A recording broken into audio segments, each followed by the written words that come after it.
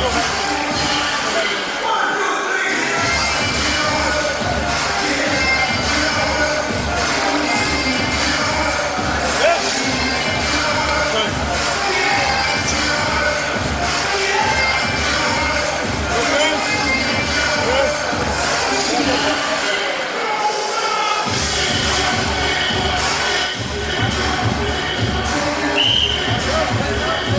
Well, Joe, we head into round four now. How do you have it through three?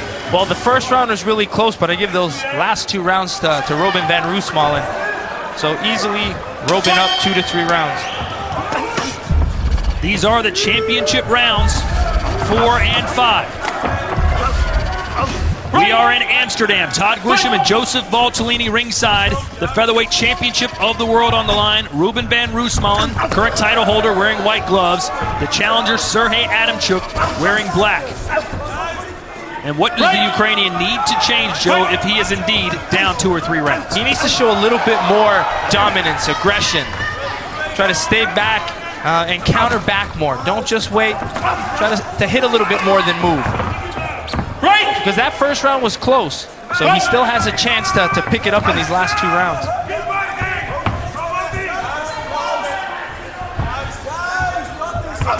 Van Roosmalen, as expected, has been the aggressor since the opening bell. And here are the total strikes. Very close. 48 landed for Adamchuk, 46 for Van Roosmalen. Remember, it's about damage, too. Robin seems to be a little bit more damage with his punches.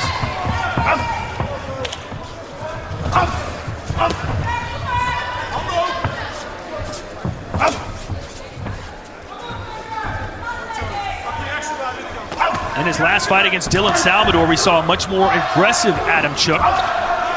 But he's maybe changed strategies because he just wants to win the title any way he can. Well, it is the style difference. You know, when you have a heavy power puncher who's in your face constantly, you know, it's so hard to, to sit and fight back when you're not the, the more powerful of the two. Nice low kick by Van Roosmalen. Haven't seen a ton of that in this fight. No, it could be the southpaw that's throwing down uh, the low kicks, but that inside leg's right there for Van Roosmalen. And look at that, just one landed kick for Adam Adamchuk. Surprised? And, yeah, and he went to the body as a, as a north-south, and Adam Adamchuk's the southpaw. Robin's the orthodox. A perfect strategy is the rear kick for both guys. Not many of them. Adam Adamchuk seems more content trying to land that knee. And again, Adam Adamchuk backing up to the ropes. That's just fine with Van Roosmalen. Look how quick Van Roosmalen's hands get back up after he throws a punch. Oh yeah, he always stays uh, very defensive. And a lot of guys, when they fight Robin, they think that the body's easy to hit because he has a high guard, but that short torso and power just makes it almost impossible to land. Good jab there from Adamchuk. He's tried that knee several times. Yeah, Robin stays really tight defensively. It's going to be really hard to land that. I'm sure Adamchuk has hit Robin's elbows a few times.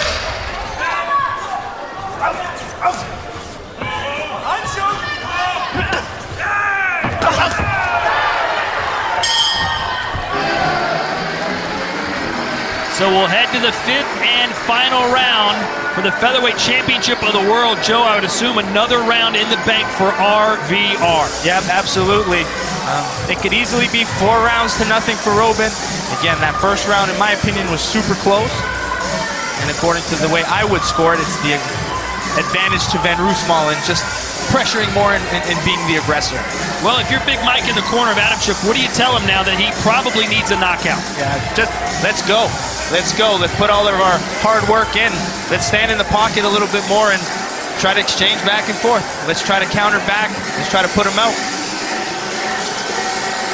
The future has already been written for the winner of this fight. They will face contender tournament winner Kevin VanNostrand in Madison Square Garden December 1st for the featherweight championship. And right now, it looks like it's going to be Van Roosmalen.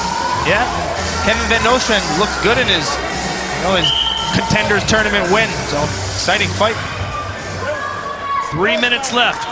Will the domination of Van Roosmalen continue, or can Adamchuk find some magic? Here we go. Adamchuk trying to jump right on Van Roosmalen here. I say break, keep break. Fight! Yeah, he's we sense that urgency. This is the fight that Van Roosmalen wants. You can see him say, come on. There's nothing to hold on to anymore. If you're Adamchuk, let's go. Let it all out. Empty the tank. Van Roosmalen is enjoying this as swelling under his left eye begins. There's that kick we were looking for earlier.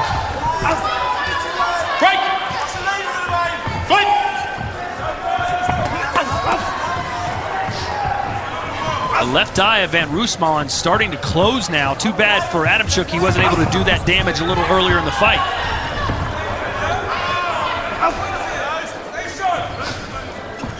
A good first minute, though, for the Ukrainian.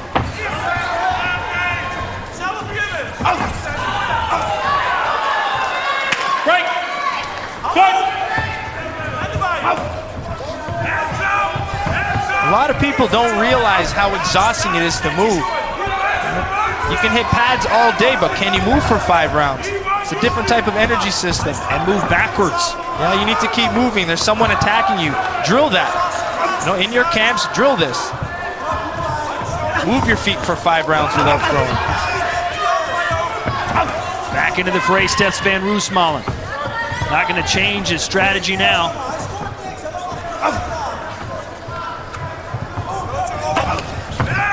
Nice right hook from Adamchuk. Trying to exit out with it. Well, this is the best round so far for Adamchuk. Definitely, he had a very good beginning of this round. Fight! Slowing down now. In the fight statistics, at least landed punches wise, pretty similar. But as you mentioned, it's Van Roosmalen who's controlling the ring and, and landing the heavier, more damaging strikes. Well, the strategy for Adamchuk is to keep his hands active because Robin's a counterpuncher, so by staying active, you keep him pinned. He doesn't throw as much. But when he counters, you got you got to get out of the way. Break! Break!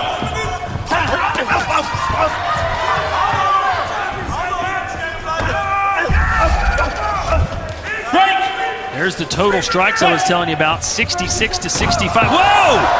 Is that Rolling Thunder? Rolling Thunder kick. Looking like the Karate Kid. That's the music he came out to and landed some powerful strikes now. And maybe, just maybe, Van Roosmalen in a little bit of trouble. 10 seconds to go.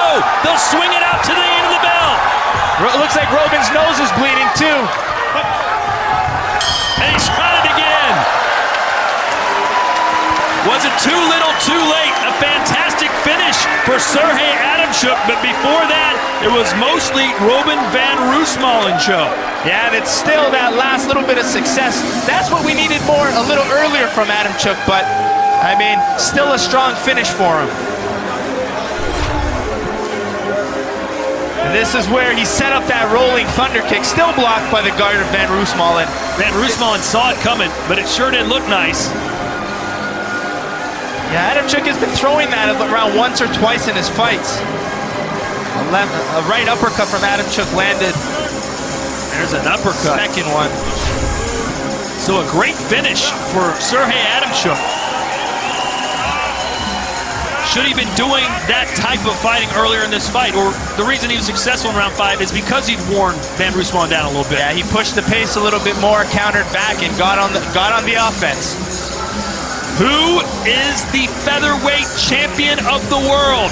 The official decision when we return to the Netherlands.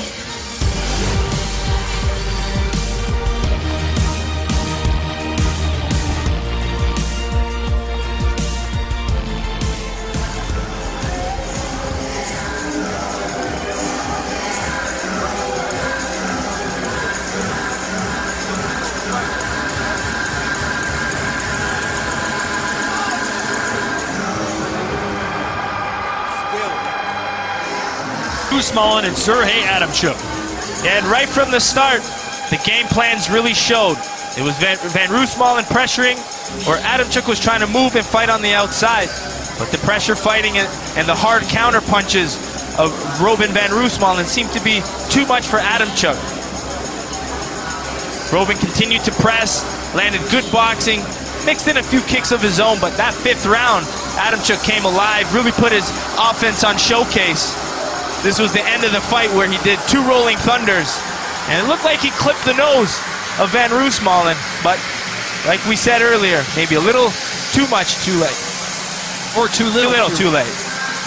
It was too late, whatever it was, Joe. Or was it? The official decision coming up next as we look at our strike statistics. And look at that. Adamchuk actually landed 10 more strikes. And yeah, you can see Adamchuk really trying to mix up levels with his strikes. Van Roosmalen looking at the legs, but a lot of those headshots were doing uh, the most damage for him, where Adamchuk was looking for those knees, and that's where we see those 26 strikes to the body on Van Roosmalen. You know what? Maybe we have it all wrong, Joe. Maybe we do have a Maybe. new world champion. Let's find out now from Tim Hughes. Ladies and gentlemen, after five championship rounds, we go to the judges' scorecard. Here now are the totals. Three of our judges score the bout 48 47. The final two judges have it 49 46. All for your winner by unanimous decision. And still, glory featherweight champion of the world, Robin Van Roosmalen. Here to present the belt, Glory's managing director of sport, Cor Hemmers, and kickboxing legend and UFC number one heavyweight, Mr. Alistair Overeem.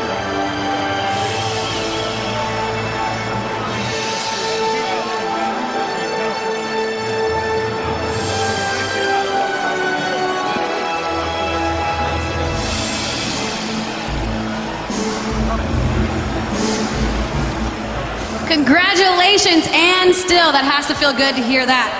Yeah, it feels really good. So, this seemed to be a little bit more of a competitive match than you anticipated. Can you rate your performance for me? I think we had a great, great game, game plan. We did everything what we should do.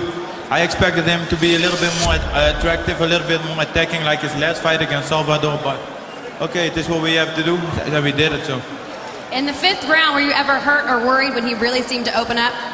uh, no, he hit me a couple times good, but this is kickboxing. There's no tennis, so it's no. So, tonight, this is your birthday. What are you going to do? Uh, right now, I'm gonna eat some pizza and drink with my friends and relax. Ladies and gentlemen, give it up one more time for your champion, Robin Van Roosmalen.